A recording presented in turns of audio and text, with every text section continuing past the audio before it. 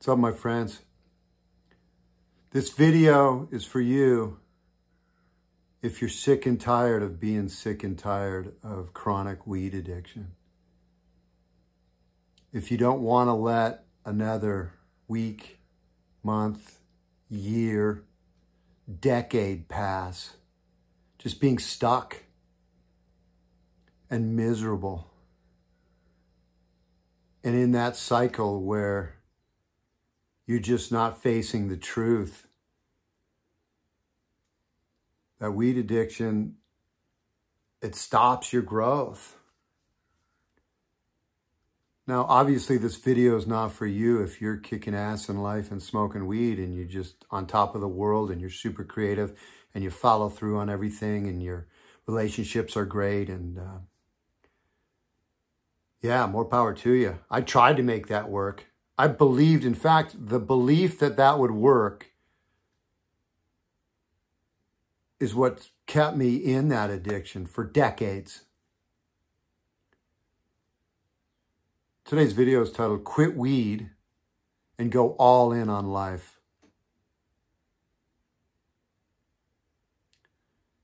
I, that's what I had to do. I quit weed a hundred times plus. But I didn't go all in on life. I still avoided the challenges that I had. I was still undisciplined. I still wasn't honest with myself about the parts of me that I really needed to face and make some real decisions on what I really wanted with my life. And when I did that, I'd always go back to smoking weed because it's like, what's the point? I need some relief. I'm miserable anyway, with or without weed.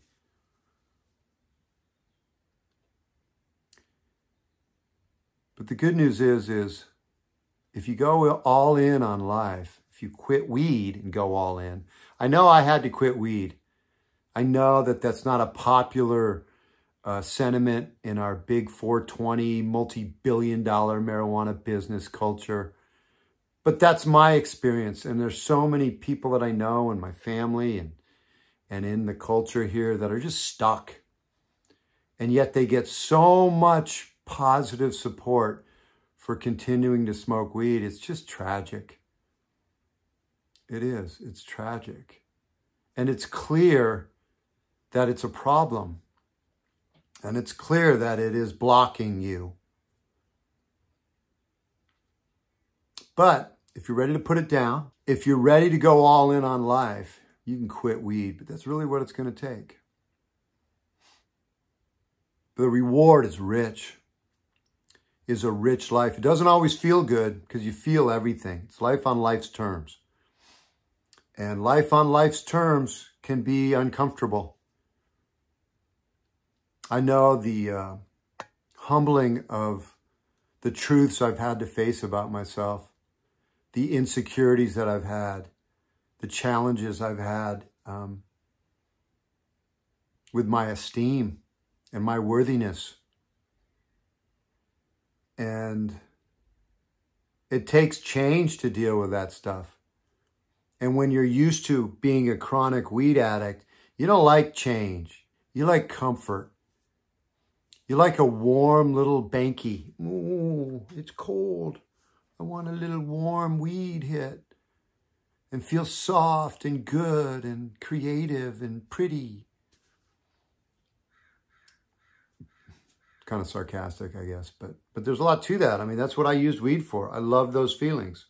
I didn't like the prickly feelings of growth, the stepping into discomfort and and and being honest and taking my mask off and telling the truth about the things that have blocked me and the fear that's ruled my life. But that's what it takes. You got to go all in on life. That's going all in on life. Man, all the opportunities that passed me by. And then ruminating on that and ruminating on all the years that I wasted getting high. That was not going all in on life when I continued to ruminate about that that was, uh, yeah, I got comfortable with that tragic story about that.